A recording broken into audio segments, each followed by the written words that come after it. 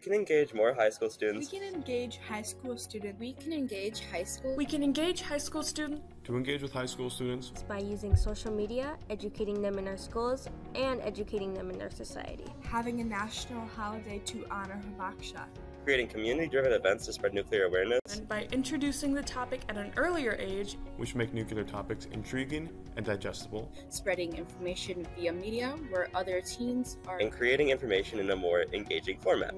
Researching different petitions or collaborative organizations. use learning activities that take advantage of modern technology, and relating to their interests.